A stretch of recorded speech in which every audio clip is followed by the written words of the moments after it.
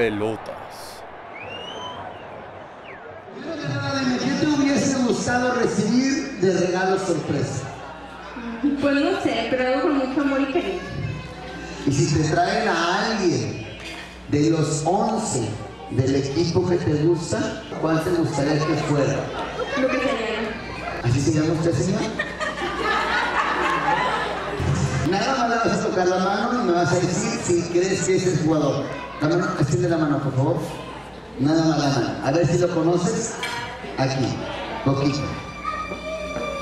¿No es? No. Para mí mis 15 años fueron una ilusión, algo bien grande, algo, un sueño, de que tus papás te presentan como una princesa, porque después te vas a convertir en reina. Para mí significó que me lo merecí, que me porté bien, que no tuve novio antes de los 15 años, que saqué unas calificaciones. Es ese momento en el que tú dices, soy yo y nada más yo, entonces si te quieres ver más bonita que todas, quieres lucirte más que todas, entonces ya ahí nadie puede opacarte. Mi nombre es Katia Lilibet, tengo 19 años y estamos en Guadalupe, Nuevo León. Ella es mi hermana Ana Karen. Aunque trae esa camisa, la quiero mucho. Yo también la quiero mucho. Bueno, especialmente en Nuevo León, la fiesta de 15 años tiene el objetivo principal de presentarte ante la sociedad. Te hacen una misa para empezar, ¿no? Para recibir la bendición de Dios. Luego, en tu fiesta, entras, bailas con tu papá, eliges a tu chambelán que en muchos de los casos es un, el niño que te gusta o tu primo, tu hermano, el hombre con el que vas a hacer tu primer baile después de tu papá. El vestido es una parte muy importante. Sí es ir a ver muchos, pero hay uno. Uno entre todos que te alumbra, que te, te hace ver. Y a partir de él se elige todo. Pasteles, arreglos de mesa, las invitaciones. Todo tiene que ir al color de tu vestido.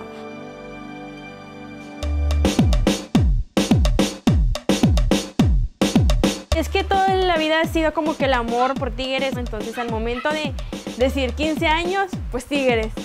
Quiero que no nada más se demuestre que estoy cumpliendo 15 años, sino todo el amor que yo les tengo a ellos. Pues mi hermana es muy rayada, pero de que ella inicia sus 15 años, ella también utiliza Converse, entonces a mí me llama también la atención. Y así como ella lo quiso, pues yo lo quería mejor. Primero que nada, para conseguir el video, yo quería que ellos me prestaran el uni. Me pidieron imágenes, me pidieron que les demostrara, ¿sí?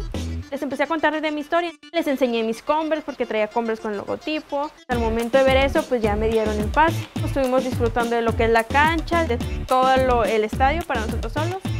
Les enseño el cojín de mis 15 años. El cojín lo usamos en la iglesia, pero pues yo lo sé para firmas. Este está firmado por Lucas Ayala, que es mi adoración. Al momento de entrar a la iglesia, pues lo usé para estar para hincarme, para pedirle a Dios que en estos 15 años pues me diera mucha alegría y muchas bendiciones. Fue un sueño hecho realidad. Soy Edith Hernández, soy dueña de la Casa de las Quinceañeras en León, Guanajuato. Y aquí tenemos eh, una gama de vestidos que están realizados con tema futbolero. Mi eslogan es el vestido de tus sueños. El tema futbolero proviene de una fotografía en internet que circulaba del vestido de las chivas, que era lo más naco, lo más horrible. Entonces yo le comenté a mi hija, le dije, yo me voy a hacer el propósito de que los vestidos de fútbol no se vean nacos, se vea algo agradable y se vea algo realmente chic, ¿no? O sea, wow. Empezamos con el de Chivas porque soy originaria de Guadalajara. Casualmente, cuando todavía no se le ve el, escudo, me preguntan que si es del Capitán América. Ay, yo todavía me siento más orgullosa. Cuando mis hijas vieron el vestido, voltearon a verme directamente y me dijeron, lo lograste. Es mi cuarto aniversario como tienda de la Casa de las Quinceañeras. Cada año organizamos una pasarela y regalamos un vestido. Pero como ha tenido mucho éxito, en esta ocasión va a haber dos pasarelas y se van a regalar dos vestidos.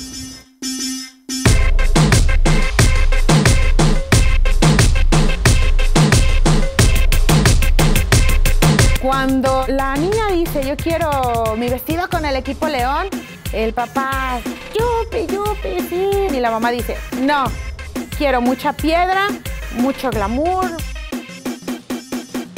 Hoy en día las princesas son bien de hueso colorado, el, obstáculo principalmente la mamá y aunque no lo queramos aceptar como mexicanos, la familia es matriarcal.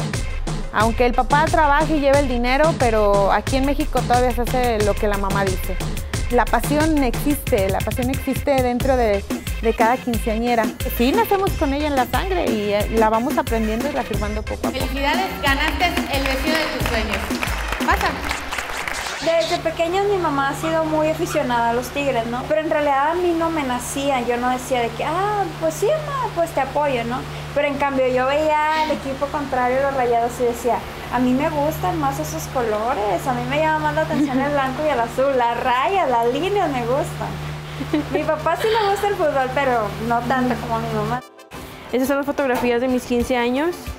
Yo sí iba de los colores. De hecho, mis hermanos también iban todos del, eh, iba del, del color. La única, pues la rayadilla. Vemos que va de luto, entonces se hubiera visto más bonita con esos colores, pero pues, no lo quiso hacer. La selección mexicana es un equipo en verdad que nos puede unir. Además de que te pones la verde, porque si no la ponemos, pues podemos apoyar de alguna manera a los jugadores que no son de mi equipo. Por ejemplo, en este caso, Alan Pulido, que va al Mundial. Y ahí sí puedo yo decirle que, ah, no, qué padre, metió gol, o qué buena jugada hizo. Ahí sí lo puedo decir.